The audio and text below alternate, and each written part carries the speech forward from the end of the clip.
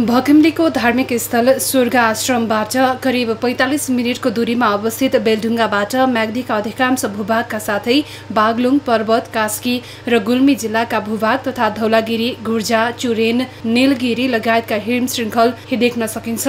लालीगुराँसको घना जङ्गलका साथै विभिन्न मनोरम दृश्यहरूले यहाँ पुग्ने सबैको मन जित्दछ। जङ्गलको बीचमा रहेको अग्लो ढुङ्गा रहेको स्थानमा करिब तीसजनासम्म बस्न मिल्ने ठाउँ समेत रहेको छ।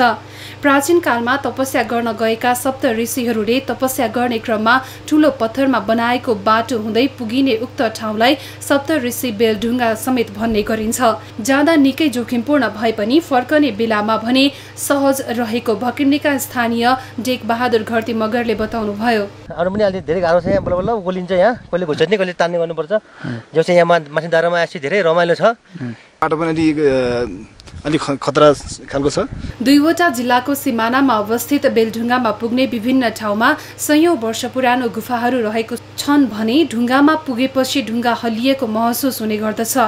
जङ्गलको बीचबाट त्यहाँ पुग्ने क्रममा धेरै ठाउँमा डोरी जस्तै बनेर बसेका नियालोको सहारा लिनुपर्छ। अपेक्षा गरे भन्दा फरक रहेको बेलढुङ्गालाई भूकम्प र त्यसपछिको पराकम्पनले समेत कुनै असर गरेको छैन।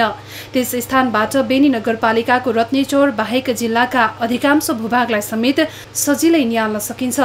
बागलुङको मध्यपश्चिम लोकमार्ग गुल्मी र बुटोवल जोड्ने सडक समेत देखिन्छ भने केही बस्तीलाई समेत अवलोकन गर्न मिल्छ। ढुङ्गा आसपासमा विभिन्न वन्यजन्तुहरू समेत देख्न सकिने त्यहाँ पुग्ने स्थानीयहरूको भनाइ छ। यस वर्ष भने गुराँस नफुलेकाले केही खल्लो लागे पनि गुराँस फुल्ने बेलामा रमणीय दृश्य देखिने मुसुङडोले निमाविका व्यवस्थापन समिति सदस्य रामबहादुर किसानले बताउनुभयो।